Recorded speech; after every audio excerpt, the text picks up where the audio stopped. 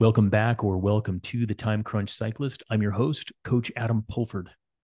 It's only ironic that during the week we recorded the Aging Athlete podcast with Joe Friel, that Mark Cavendish became not only the second oldest rider to win a stage in the Tour de France, but he also broke the record for the most stage wins with number 35, beating out Eddie Merckx, who had the previous record. And he did this at the age of 39. Now, that's not very old in many people's books, but for an elite athlete, it's old for sure. In addition to that, USA Cycling reports that the majority of their membership is between the ages of 35 and 54. In a recent article from Triathlete Magazine, it was reported that new triathletes are getting older.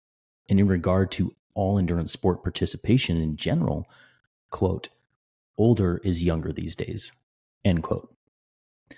Personally, I coach athletes anywhere between the ages of 15 and 71 years old.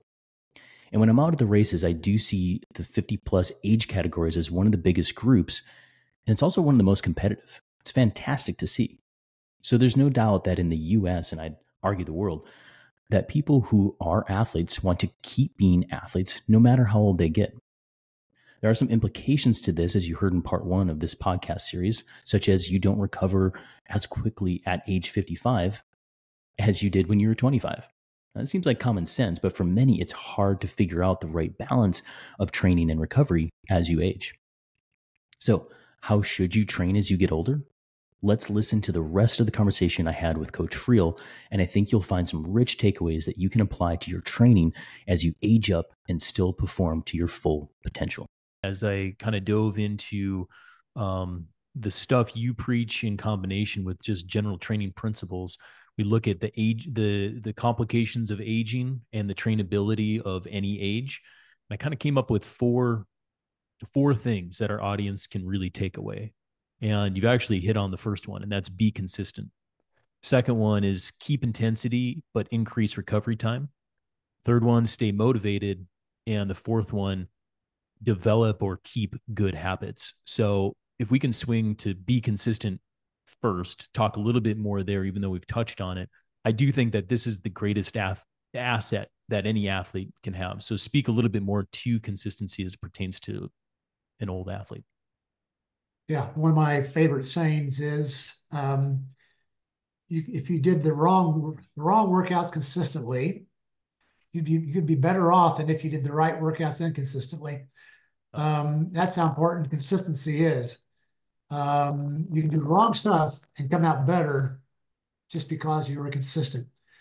That it's it's the bottom line for improvement. I, in this new book I'm writing, I devote um, quite a bit to to just that topic alone.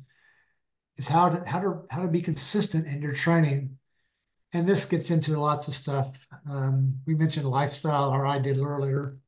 Mm-hmm. That's that's really a part of it is your lifestyle. That's that's what comes down to do you train consistently or not. It's not just motivation. Motivation is good, and we need motivation. That's that's not a bad thing at all.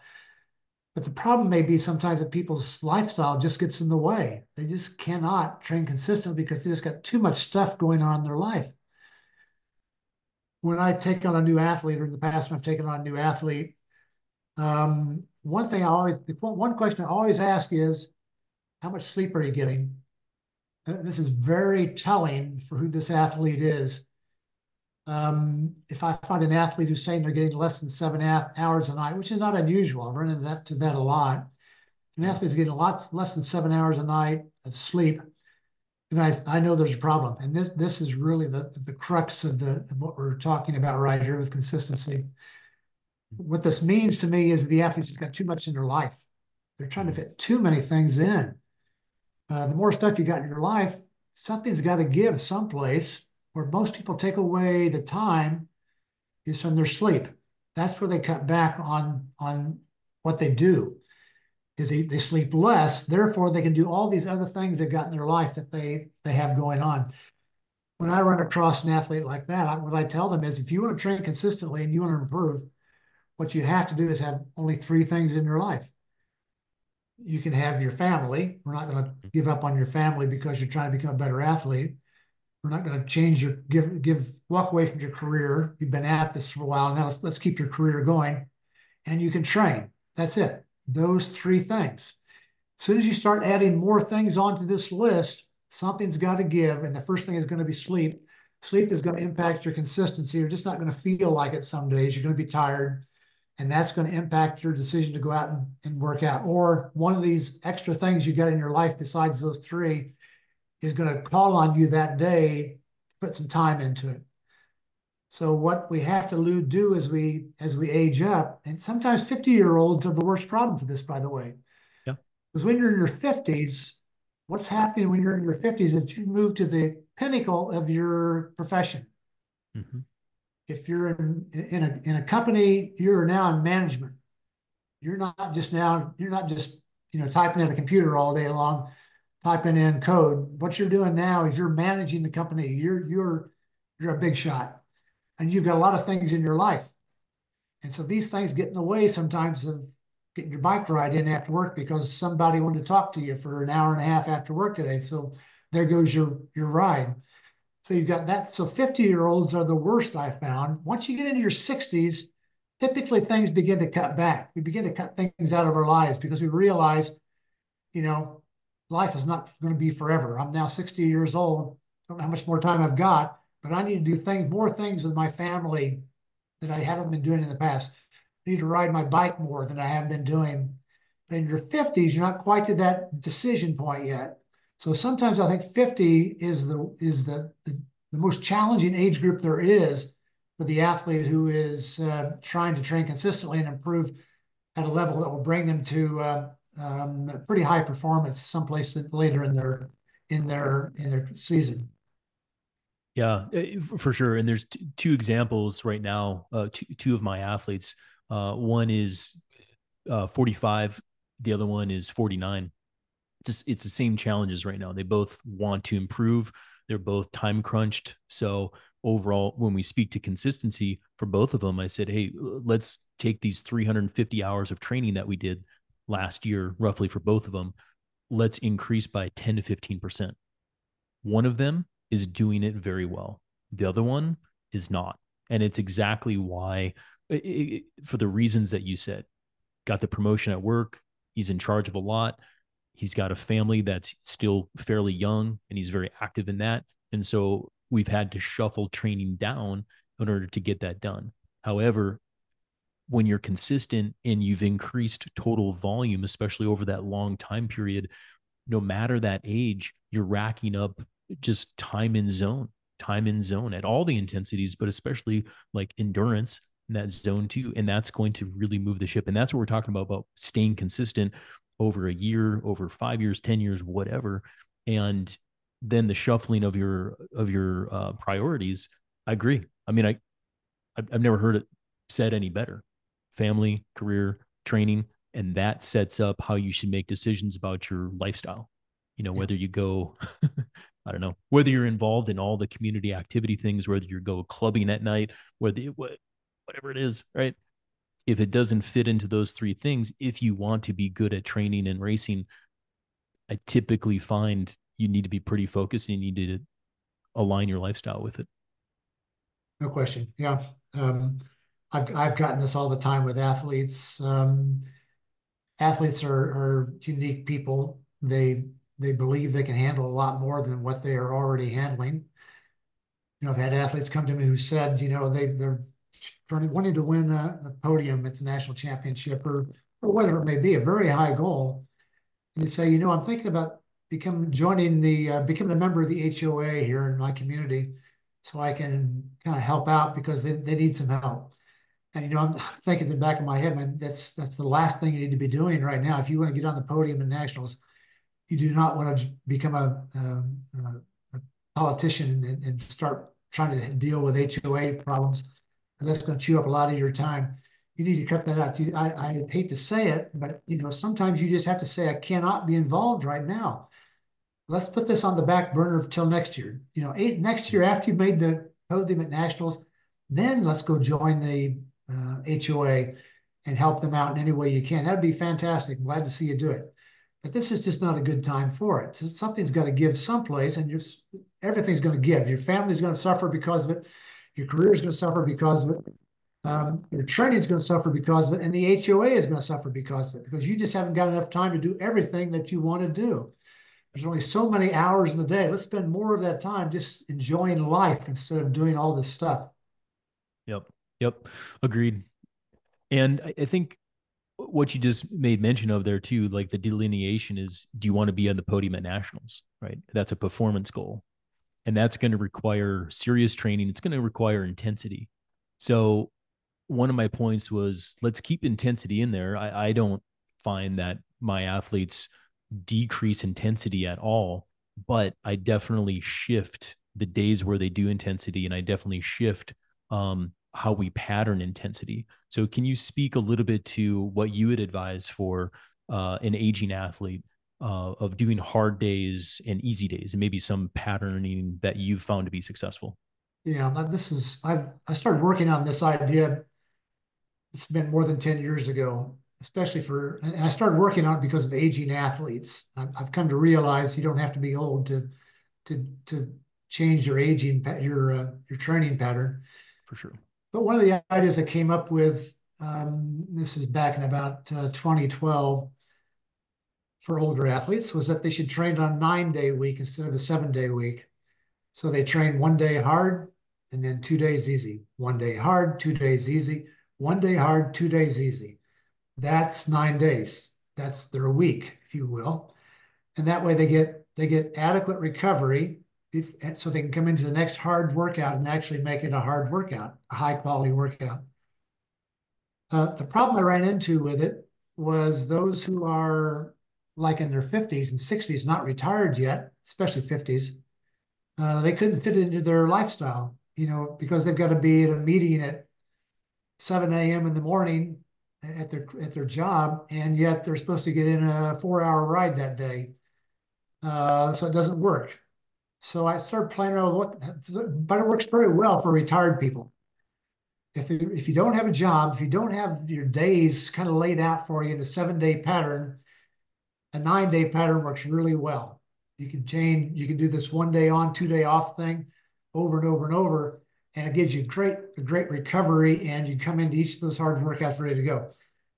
But the, the problem is the, is the uh, all the issues that you face with the, your lifestyle and trying to fit around nine days. The other, so I started working on what's how's a, what's another way of doing this. And so what I came up with, and this really came from looking at polarized research. Uh, they they never really, you know, they talk about 80 20, but they never really put it in numbers. What does that mean other than 80% easy, 20% hard? What does that mean in terms of your seven day week? Because 80 20 doesn't work out in a seven day week very nicely. But so what I started playing around with was five two. Mm-hmm. Five days easy, which could include a day off if you wanted to. That'd be one of those easy days, and two days hard, and separate the the the uh, two hard days by either two or three days. So you've always got a gap between those hard workouts, uh, so you get a chance to recover before you do it again. And um, so I started playing with that, and it worked really well for the for the aging athletes that I was working with so I decided to start doing it also with my younger athletes, and lo and behold, they got a lot more out of it also.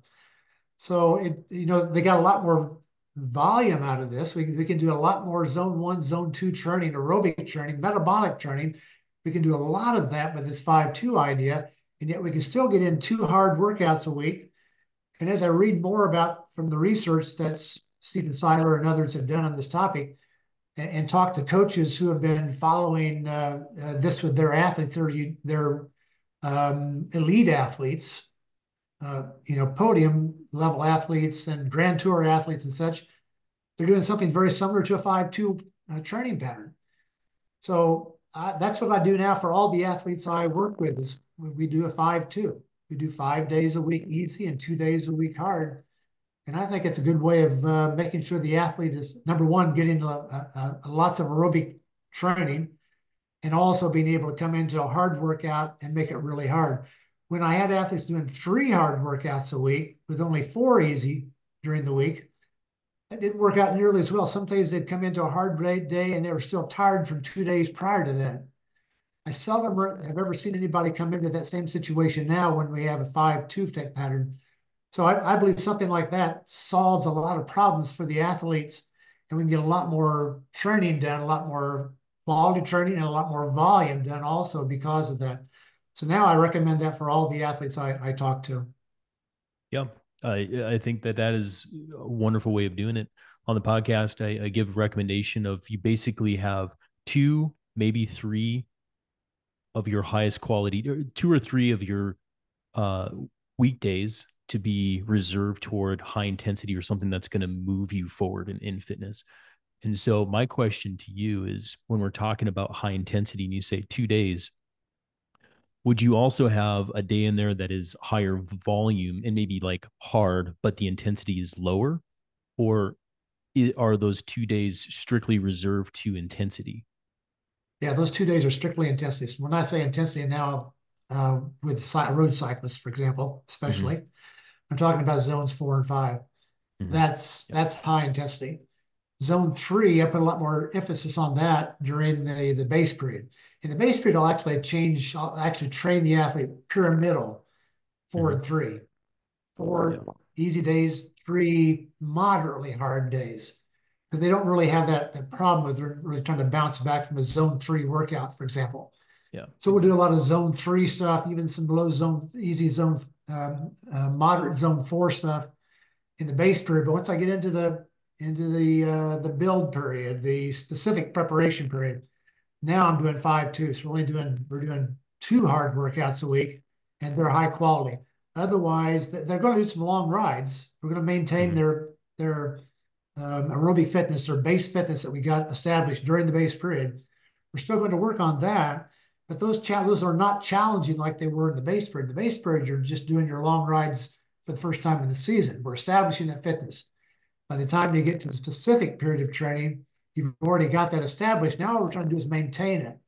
You don't have to go out and do those grueling hard rides in, in low intensities that are just based on, you know, being out there for four or five hours, whatever it may be at a time, which very few athletes do, but there are some who still who do that.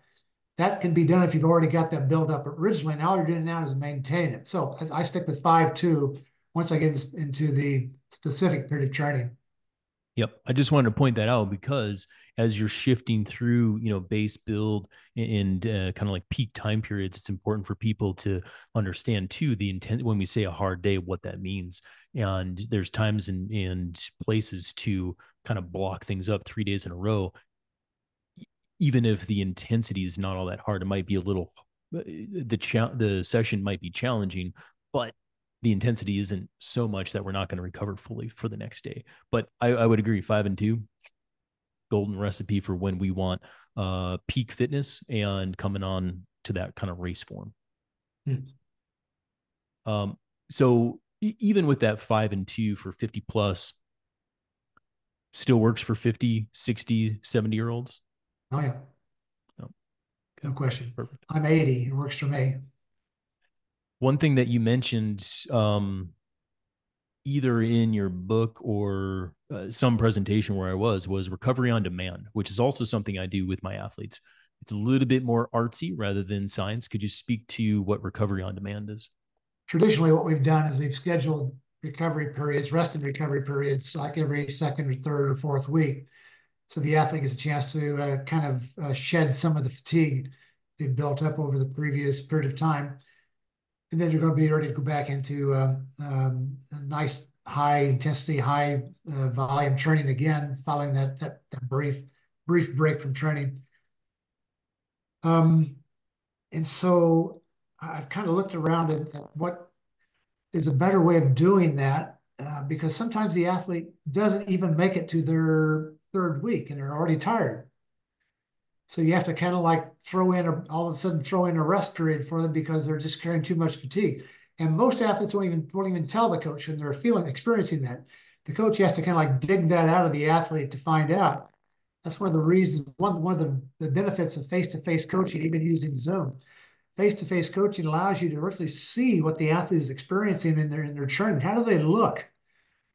Uh, back in the 80s and 90s when I was coaching athletes, early 2000s, we didn't have anything like that, like Zoom. And my athletes were all around the world. I never got a chance to see their faces. Never got a chance to see what they were telling me with their body, their body language. You know, that were they expressing fatigue to me or not? They were telling me they felt good and they were ready to go. But sometimes I would doubt that just because of tone of voice. But if I could see their face, if I could pat them on the back and see how what they're experiencing right now, I could probably do a much better job of making sure they're they're ready to go. So that then brings us to this idea you brought up, which is recovery on demand. If I was if I was the coach coaching a group of athletes face to face, I would every day walk up to every athlete, look them in the eyes, and talk to them about how they're doing, how are they feeling, and I want to see exactly what how they respond to that question. And then I'm going to make a decision right there on that at that moment whether or not they need to rest right now or not. Can they go ahead and do this workout today, or do we need to start a recovery period? That that would be as if, if I was coaching one on one, face to face. There's not a lot of that going on anymore. There's very few coaches, it seems, who are doing that. We're all using TrainingPeaks. We're all using Zoom. We're all finding other ways to uh, talk with our athletes, which is great. Much improvement over when I was doing this back, you know, 20, 30 years ago. But we don't get that same reaction, the same sense of what's going on with the athlete. We can't really experience what the athlete's experiencing. We can't see it. We can't, we can't feel it. So now we have to leave it up to the athlete to make these decisions. So recovery on demand leaves it up to the athlete. What it says is you decide when it's time to take a break. And that would be the if if everything else was equal, that would be the best thing we could possibly do to have you ready to start training again is for you to decide I need to take a break and I need to take, you know, we'll we'll take a break for three days and see how I feel. And at the end of that three days, I'll decide whether to extend it or I'm ready to go back to it again, whatever it may be. But I'm, I'm doing that based on me, my head, not the coach. The coach may be give me advice, but I'm deciding when to do this. And I would love to have the athlete do that. The problem is most athletes won't fess up to it. They will not say, I'm tired. They will not say, I need a break. Um, they're just very reluctant to, to tell you that. So the coach has to, in, in our new modern world of coaching, the coach has to dig that out of the athlete. We have to ask the right questions. We have to really go deep into understanding what the athlete is telling me and take it to a hot to, to an even deeper level than what the athlete thinks they're even telling you. You're, you're trying to get down to their core. Exactly how are they feeling? And, and you have to realize the athlete's going to lie to you. So you have to be prepared for that and just keep on going. Just keep digging down into it. And if you can do that, then it works really well for the coached athlete. The uncoached athlete, the self-coached athlete, it's extremely, extremely difficult to get that athlete to take a break on, on demand. Um, almost impossible. Um, they will hold out till the very end. Tell you a story about this. Um, I started coaching an athlete, I think it was about 1998. He was a triathlete. And um, he, he called me one day. I knew who he was. He's a pro he called me one day and said uh, he'd like to talk with me. So we arranged to get together in a coffee shop. He lived not too far from where I live, so he came up and we we we spent some time together, spent a day, an hour together. And um, what I learned was he was tired, and he had brought his training diary with him, which is usually a bad sign. Um, that meant he was really tired. He wanted to show me something I knew. Um, so I started asking questions and what I found out was he had he had fired his old coach something like uh, eight weeks prior to when we met, and he decided to coach himself. And he decided he could actually make himself a lot better than his coach could if he just didn't take any breaks from training. If every day was a hard workout, he could he could be a much better athlete than he was. He was already at the top of the sport. He was chosen by the USOC as the triathlete of the year. Um, he was he's top five in the world. He was one of the best athletes there is, what was in triathlon at that time. But he decided that he could be even better just by not taking a day off. So for the next seven weeks, he had something hard every day. He'd work out with a group of runners who were doing a race like 5K workout one day a week. He did a swim workout with the, uh, three days a week with a with a master's group that um, uh, featured really high intensity workouts. Um, he was doing bike rides with uh, uh, cycling groups that were pushing the limits all the time. Every day was a hard workout, and he got to the point by the seventh week he was having a hard time getting out of bed. That's when he called me, and we met. And I knew exactly what was going on as soon as we started having this conversation, just by the tone of his voice, just by talking to him. He was way, way overtrained. He was he was the most overtrained athlete I've ever come across in my entire career. It was just amazing what he was going through and what he was still pushing himself to try to do. He was in his eighth week and he was embarrassed that he couldn't finish off this eighth week. All he wanted to do was eight weeks of, of nonstop, everyday hard training. And now the eighth week and he couldn't hardly, he couldn't do it anymore. What's wrong with me, Joe? I, I can't do this. There's something wrong with me mentally. And so I said, no, it's, it's not mental, it's physical. And so he asked me if I if I would coach him, and I said yes, but you got to do what I tell you, and you're not going to like what I'm going to tell you. We're going to take some time off. We're going to stop training for a while until I know you're recovered. That may be I don't know how long it's going to be. It could be two weeks. It could be two months. I don't know what's going to happen here because this is this is rare when this happens. You've pushed yourself to extreme limit. So we started down that path again. That's that's from that point on. Um, he finally got him back into training again. Didn't do anything at all that year. He had a bad season altogether. You know, this is top five in the world. He was having a hard time uh, of staying in the top 10. Um, he goes on to the next year, he wins one race because we changed his our philosophy of how to race. And he got one race win, which was really great.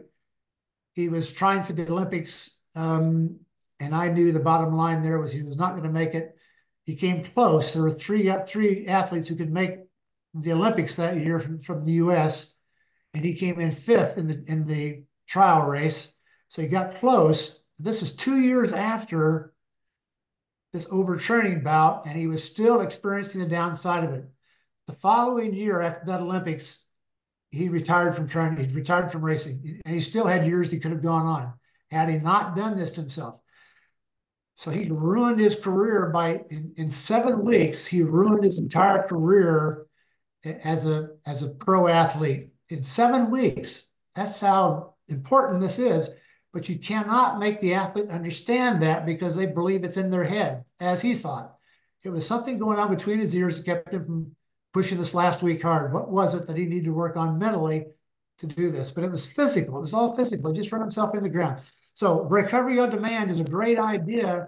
It's hard to get people to do it. Really hard. it, it is. Um, part of the part of my process in in doing it. I'm a firm believer of teaching them how to fish rather than giving them the fish. Like teach them how I think, teach them why I do what I do, right? With their training. And it typically goes better. However, even with when I give a lot of autonomy to my athletes in that way, they they still want to check in with me and i think that i think that's healthy but they've already they've already made that decision in their head. They just need a little bit of confidence in, in that way. And i think it also that speeds up efficiencies on both ends because as you said remote based coach is not in the field with you. You need to be able to make some decisions when i'm not there and we need to be able to trust ourselves that we'd rather underdo it a little bit rather than overdo it by a little bit and that's going to give you greater success in the long run. And so, for any self coached athlete listening to this, I mean, you listen to that story, you listen to my philosophy. It's just like undertrain yourself by 10% rather than overtrain yourself by 1% because the overtraining part's going to go real bad. It is. I ran into a coach, a friend of mine, coach, um, who has a unique idea, somewhat along the same lines as what you have. He gives the athlete seven days of workouts or whatever it may be. And here's the package. You decide when you're going to do them. So from day one, he starts giving the athlete control over their program. It's not being dictated to them. They're deciding, making decisions when to do these workouts. And I think that's a good starting point for getting to the point where the athlete can actually make a decision on when to take a break from training, is to give them the opportunity to uh, uh, to coach themselves, if you will, to some extent to get to get the guidance from the coach, but but they're now making decisions on their own about when they're going to uh, do those workouts. Yeah, yeah, and it's I think every coach maybe does a, a little differently.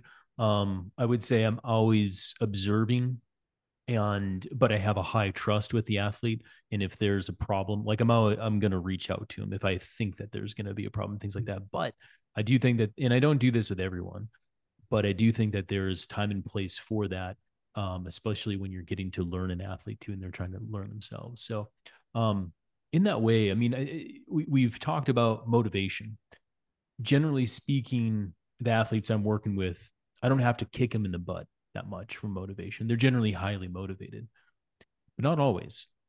And if, if we're staring down the, the double barrel of aging and all of these things that we talked about, I'll never be what I was in my 20s and 30s. Why am I even here? Why am I even trying to do bike racing or triathlon or running or how do I how do I get motivated through that? How how have you motivated your athletes through that, Joe? Yeah, that can be a problem. Um, I, I, talk about uh, statistics with, with athletes a lot, uh, all the data that we look at. One of the most important data I, I look at them with, or look with them at rather, is uh, something I call the efficiency factor. It's just a way of looking at how aerobically, how the aerobic fitness is coming along. And I call that EF. So we talk we talk about EF all the time mm-hmm. when talking with athletes because uh, it's so critical to their uh, building their, their performance from the base level on up. But I came up with another idea here not too long ago uh, about EF. It should really be called the enjoyment factor. Uh, I want to find out from you is how are you enjoying your training? Are you having fun? If this is not fun, then we need to make a change. Something's not right someplace. What can we do to make it fun for you? Maybe that means, uh, you know, athletes like to ride with, especially cyclists, like to work out with other cyclists, like to ride with them. Group rides are popular because it's a social time for a lot of athletes. It's time to get together and and and you know just have a good time. Do we need to do more of that? Uh, do we need something? Do, do do you need a training partner? That's sometimes the thing that gets them motivated. Also, do you need a training partner? Uh, somebody that's going to meet you every day, you know, at uh, at the intersection and that's near your two homes, so you can do a ride together. Maybe that would help you. Um, or if the athlete doesn't have a coach, one thing I'll recommend doing is getting a coach. That, that's one of the biggest uh, motivators there is, is to have a coach. So if we can get the athlete to to realize I'm doing this because enjoyment, it's it's fun, and then start doing more stuff that's fun within my training, that becomes then I think a motivator for keeping the athlete um, involved in the sport instead of deciding they're going to give up because I'm just not what I used to be you have to realize that's that's what's going to happen. The numbers are not going to stay the same as they were when you were in your 20s and 30s. You're not going to see those numbers anymore. They're going to go away. By the time you're in your 50s, that's history. Now we're talking about a new set of numbers, and you have to be prepared to deal with that new set of numbers and realize this is how you perform right now. And there's nothing wrong with those numbers. They can be very good numbers still for your age group. That's that's important but you've got to, the first thing is you've got to enjoy riding your bike. You've got to enjoy working out. And if you're not enjoying it, then we need to find something that helps you enjoy it. That's that because my job as a coach then is to find this thing that helps you become um, better at, at, at, enjoying going for a ride every day. What does what does it mean? What what do you have to do? It's a it's a challenge, I understand, but it, it's one of the most important things there is is to to keep on doing this for 10, 20, 30, 40 years and enjoy it all the time. Every time you go out, you get a kick out of it. I, I, you know, maybe that means getting a new bike every every year or so to give you something new to ride, just to kind of keep your enjoyment level high, or training partners, or all these other things I mentioned. But you got to do something to kind of keep the enjoyment high, external or internal. Yeah, um, agreed with that for sure. And I think that sometimes it is taking away some of the structure like we said like for like if they're not motivated to go out there and and hit intervals and and charge hard and and stick to a pattern sort of training program it's like take the structure away just kind of like let them be let them go keep consistency and then you start to add in these other flares of social um, some other challenges. There's always something to work on efficiency factor smoothing pacing all these things. And so i think a a, a coach, you know, somebody who's kind of a, a, third party unbiased to look in and just give those slight tweaks at the right time. That's the way to do it. For a self coached athlete, my general advice is, yeah, probably chill out a little bit more. Um, do less structure, just do some endurance and give yourself some time away from a high performance or high pressure sort of situation. And that's that's definitely going to help in, in the motivation side of things. And then start to think big. Like, um, you know, if you do love, you know, riding and racing your bike, um, you know, book something in Europe. You know, do a do Swiss Epic. You know, do do different things and different disciplines to start to change it up because you you probably find that it's like, oh yeah, I just needed to uh, variety. It's actually a principle of training as well as the spice of life, but it it it really plays a big role in in motivation.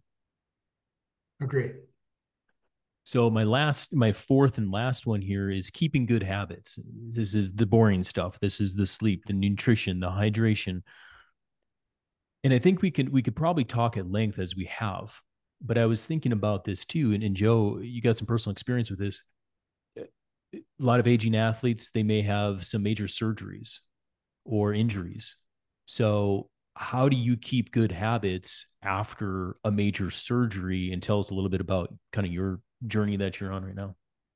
Yeah as I mentioned a little while ago adam that uh, back this is it's now uh, uh, june. Back in april i had two surgeries in three weeks. Um, wasn't any fun at all. It's, it's, a very difficult time for me. I wasn't able to ride my bike lift weights or do anything. And it had been a long time since i'd been through a month without doing anything at all. So I got back into it when, was, when I finally was able to uh, move around. I started moving around more. I started walking. First, first walk was just around the block. And then I started walking farther and farther and farther until I was walking uh, an hour and a half at a time, several times a week with shorter walks on the other days. So that, and I did this because I'm motivated. And where does my motivation come from?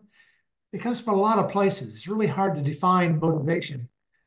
Uh, but I find one thing for me that's motivating is to to think that I, I'm I'm a role model for my family, for my for my son, for his wife, for their for their daughter, for my wife, for for people around me in my life.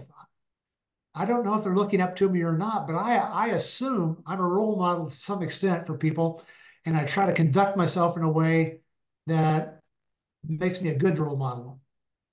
And I, I will guarantee you, somebody in, in your life, and it may not even be somebody you know, maybe somebody that's really a distant person from you at work or someplace, looks up to you as a role model. Every person has looks up to you. Somebody, every person has somebody looking up to them as a role model. Every person does.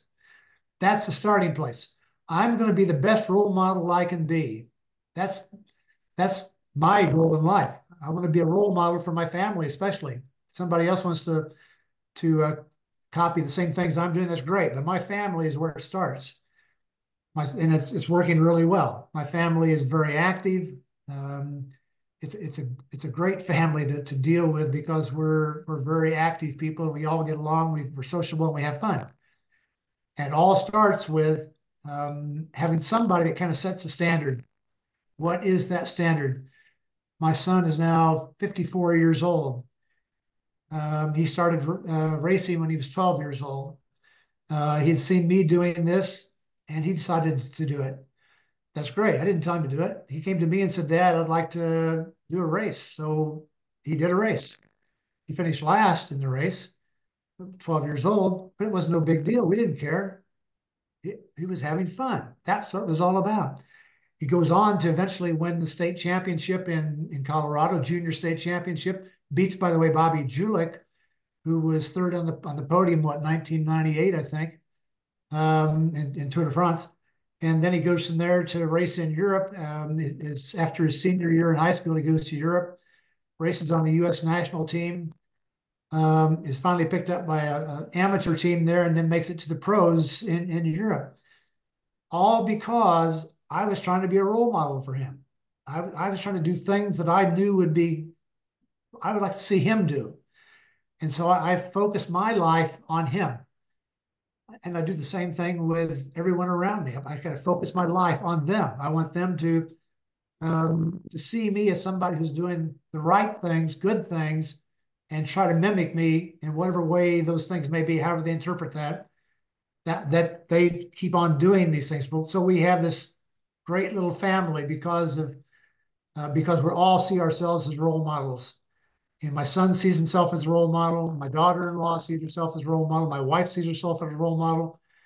And we try to help one another as best we can all the way through our lives, no matter what the issue may be. Exercise is just one little part of this.